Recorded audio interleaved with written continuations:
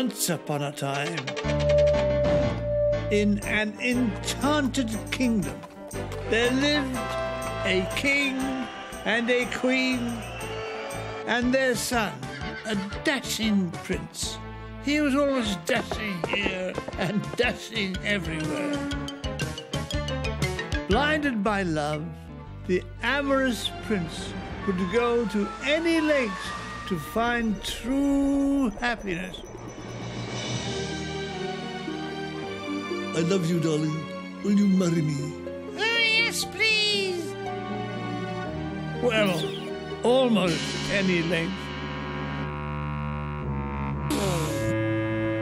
But the jealous, wicked witch did all in her power to destroy the prince's dream of true love.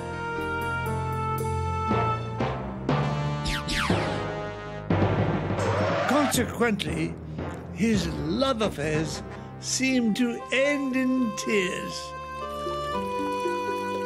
He was turned into a beast by the witch. He lost the little mermaid as he turned into the foaming sea. Even dear Rapunzel love call was an echoey memory. But maybe this time his dreams will have come true.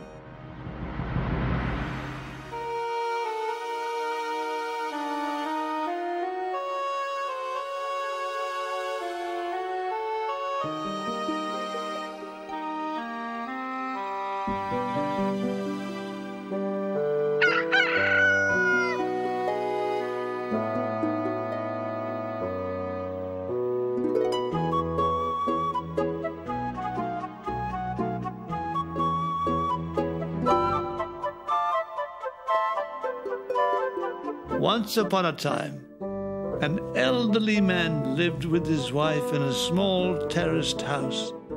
They had a charming daughter who was so sweet and kind, and she would do anything to please her parents.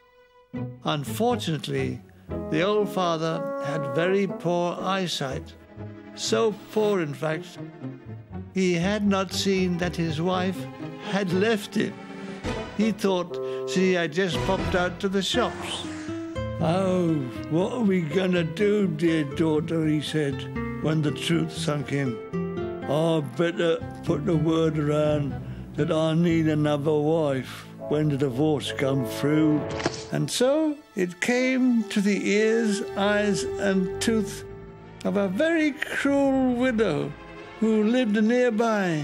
She herself had two ghastly daughters who bore a striking resemblance to their mother, who was in fact a witch. The next day, the witch and her daughters presented themselves to the old man's house.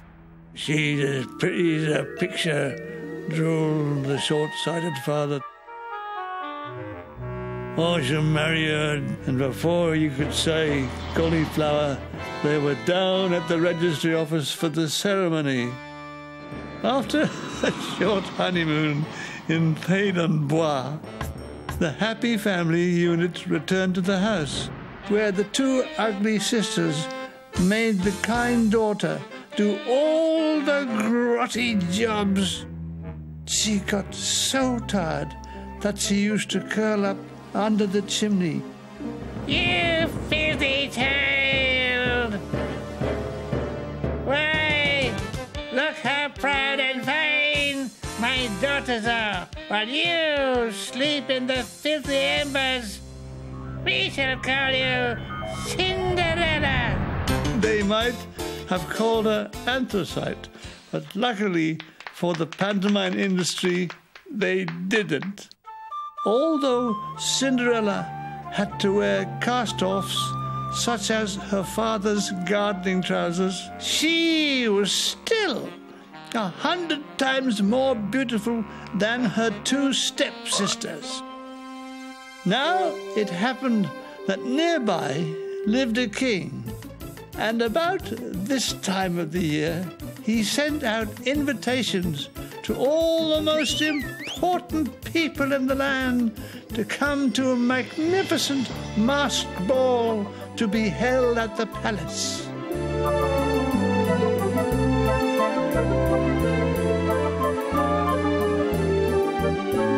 Due to the usual cock up at Chigwell sorting office, the invitation due to the lovely Bow Bell daughters was misdirected and found its way instead to the humble cottage where Cinderella lived. The short sighted father was about to throw it on the fire. Wait, screamed his wife, snatching the envelope from him. As he opened it, she realized that the opportunity to socially elevate her daughters had landed in her lap. You're invited to the ball. Your days at the Wood Green Palais de danse are a thing of the past. Of course, it was necessary for the two sisters to have new clothes for the ball. They paid a visit to the little tailor. He laid out dress after dress before them, all of which they rejected in the most haughty manner. Even Cinderella wouldn't be seen dead in these. We came for fine clothes, not rags. You'll have to lose weight, the pair of you, said the witch, reflecting on their passion for hamburgers. Suddenly, the little tailor remembered some of his most outrageous creations, which he despairingly showed them. Perfect, they said in unison, snatching up the outfits and paying the little tailor.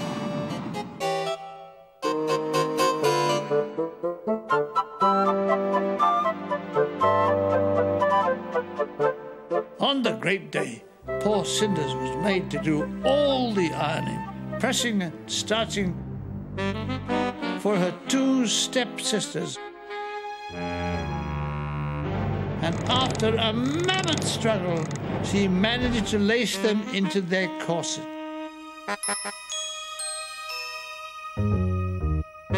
She was so exhausted by the time the taxi arrived, she collapsed in a heap by the fire. She'd no idea who'd left it there. If only my fairy godmother was here, she cried, as her tears fell on the dying embers, filling the kitchen with steam. Suddenly, she was aware of a rumbling above her in the chimney. Perhaps Cinders was dreaming. Maybe Father Christmas was coming early. The rumbling grew louder and louder. I'll get that little pig if it's the last thing I do. Then, with a final roar and a tangle of drying towels and clouds of soot, a wolf stood before her, draped in cloth. Oh, I was hoping you were my fairy godmother. But I am your fairy godmother, said the wolf, riding his luck like mad. Could you arrange for me to go to the ball? Will those three pigs be there? Yes, they will, she replied, thinking he meant the two horrid sisters and their mother. She didn't like being rude, but really, everybody has their breaking point. If I'm nice to this little girl, she's gonna get me into the feast of all time, said the wolf under his rancid breath. Okay, now, there's not a minute to lose. We gotta get you fixed up. First, you're gonna need a coach. Cinderella said she didn't have a coach, but she did have a pumpkin that the witch was saving for her Halloween. A coat would have been better, but I suppose a pumpkin will have to do. Cinderella said they would need something to pull the coach. The only thing they could think of was the six white mice that the witch was planning to put in the soup. Personally, I preferred horses, but these misses will just have to do. Next, they turned their attention to the footman. Oh, that's easy. The witch always keeps lizards, and they make excellent footmen. And would me, as the coach driver, were just about tickety boo. So, what are we waiting for? When he turned to Cinderella, she was slumped at the table. It's no use, said Cinders. At a pinch, we might have fooled them with the pumpkin and the mice, but they'll never let me in wearing these rags. Maybe it's a fancy dress ball, and you could go as a street urchin. Well, it isn't, and I can't. That horrid, horrid witch!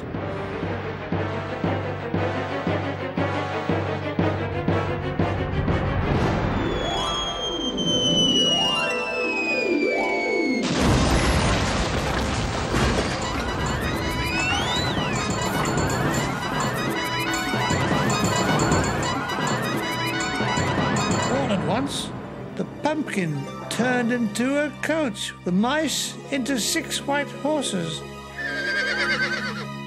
the lizard into footman, and the wolf into a splendid coachman, complete with cap and red button jacket. What a sight! But more to the point, Cinderella was dressed in a beautiful party gown with the most exquisite glass slippers.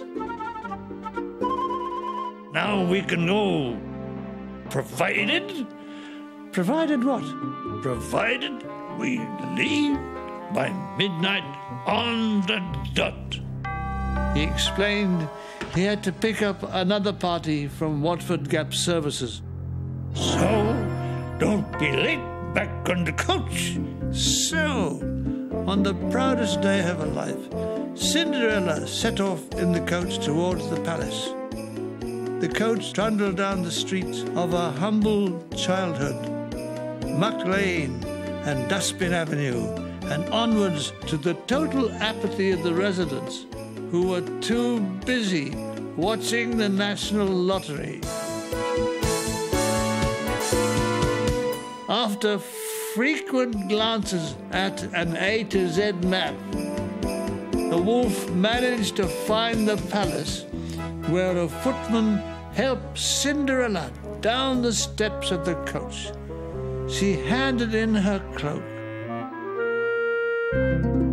and glided up the stairs to the hall. As the doors flung open, all eyes turned to Cinderella.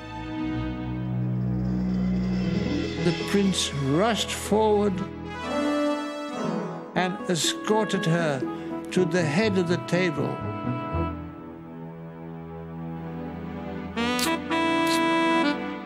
On command, the orchestra struck up the prince's favorite musk gavotte.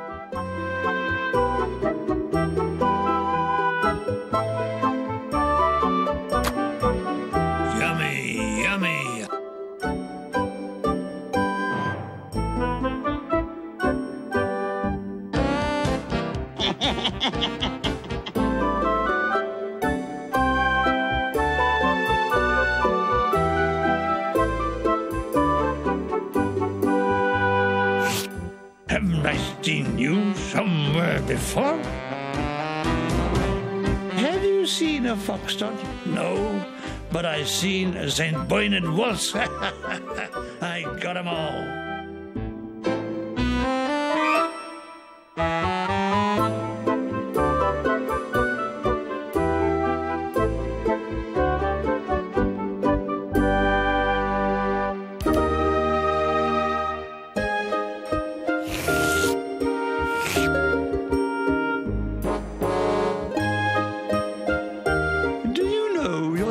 on my toe? No, but I can learn it.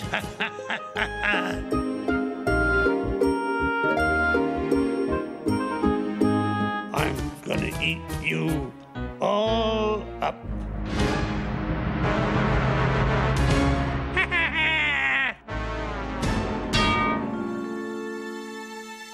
After the dance, the two ugly sisters were furious that the prince only had eyes for the beautiful newcomer. Don't worry about her. It should give her sweet dreams. For the next hundred years.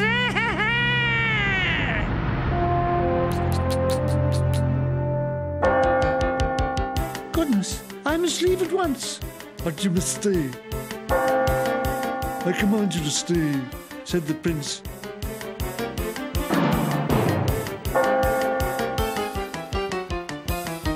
I see.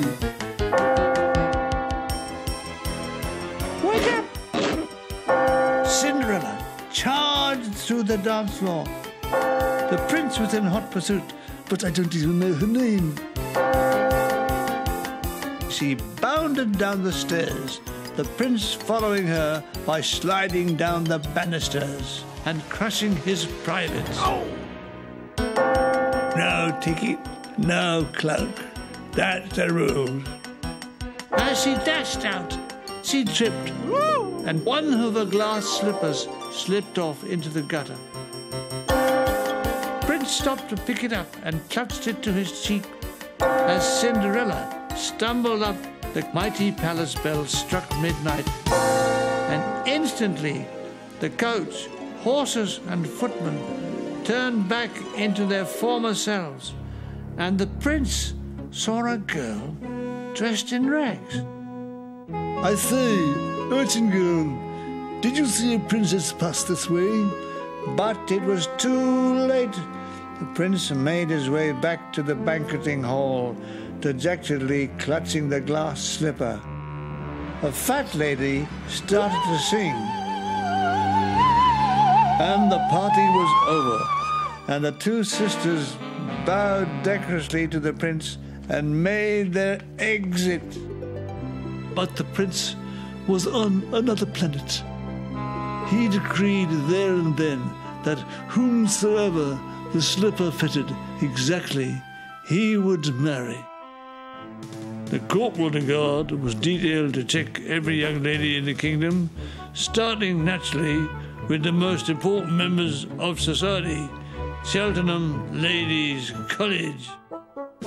Left foot forward, present! He barked at the ladies as he tried in vain to get the slipper to fit. In desperation to find a suitable foot, the corporal tried everyone, even the giant. Beep, bye, bo, bum. This shoe won't fit. Oh, strike me down. With mounting desperation, the corporal left the dumbstruck giant and found himself knocking on the door of 12 Dripping Lane, East 7. With it, left foot, forward, present, as the overeager ugly sisters tried in vain to force their podgy feet into the slipper. May I try? Yeah. Let the stupid child try if she wishes. Very gently, Cinderella slipped her foot into the glass slipper. It was a perfect fit. I should be very obliged if you could produce the other slipper just to tidy things up like. Of course, said the smiling Cinderella. My slipper, it's gone. I know it has, said the witch, producing it from under her cloak. now no one will have it. And she hurled the spinning slipper through the air.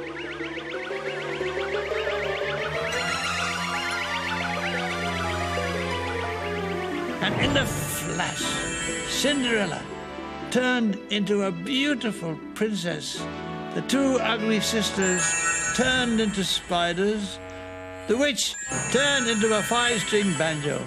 The father's eyesight returned. Twelve Dripping Lane turned into a palace. The wolf turned into a butler, and the prince won the lottery and married Cinderella. that very morning.